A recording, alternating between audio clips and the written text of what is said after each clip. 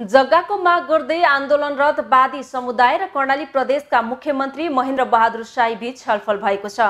मुख्यमन्त्री तथा मन्त्री परिषद कार्यालयमा शुक्रबार भएको छलफलमा मुख्यमन्त्री शाहीले वादी समुदायलाई जग्गा दिन नसकिने बताउनु भएको छ।